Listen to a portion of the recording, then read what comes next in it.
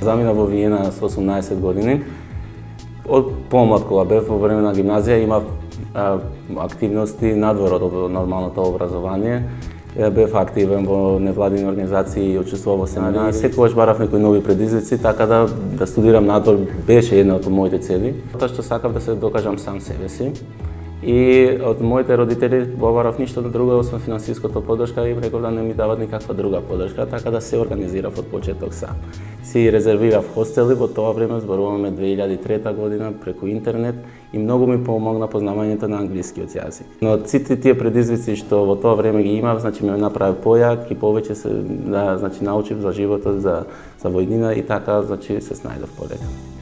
Во исто тоа време јас со татко ми почнавме еден мал бизнис да сработуваме со една австријска компанија во а, значи осигурителниот бизнис, така да тоа се добро се вклопи и во последен момент јако бев веќе аплициран во неколку а, универзитети во Англија, се решив да одам за Виена.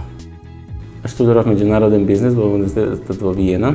А, значи 6 месеци учев интензивно, после уште 3 месеци, рече си 9 месеци за да се го научам јазикот. Сега работам во релација Виена Македонија, Албанија.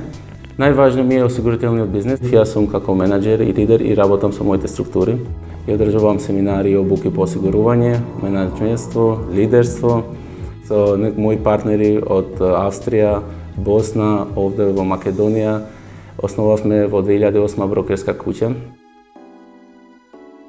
Исто така соработувам со ФОН универзитетот Таму сум како надворешен предавач и држам предавања во сферата на финансии, банкарство и осигурување.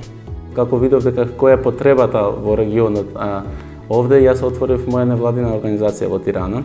Целта на организацијата е да се поткани свеста на луѓето во врска со нивните обуката на финанси, нивните персонални финансии и исто така ово осигурување. Дека ова што го работам е нешто што можам да придонесувам повеќе во овој регион Ова што го работам ме исполнува како работа и не ја гледам како работа, него веќе е страст и мислам како што кажав е дека е на мисија што јас ја гледам дека треба да ја направиме и треба да, да нешто направиме за да се да придонесеме нешто за регионот.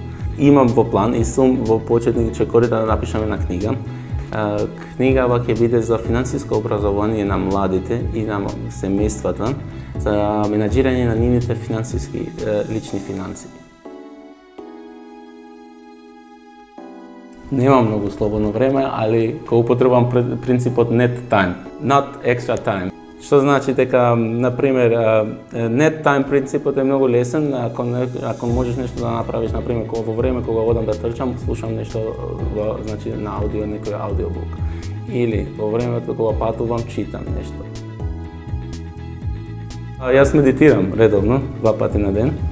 Трансцендентална медитација ја научив веќе 3-4 години во Базел, во Швајцарија, и од тогаш практикувам и тоа ми помага многу. Дефинитивно, и тоа е еден дел од мојата инспирација и мојата позитивна енергија, затоа што секогаш кога доаѓам, се трудам да, да, да, да поминам квалитетно време со моето семејство, со моите родители особено, па се на блискиве, другариве, луѓе што ми го, срцево ми ги сака и значи поминувам што што повеќе моменти што колку што може.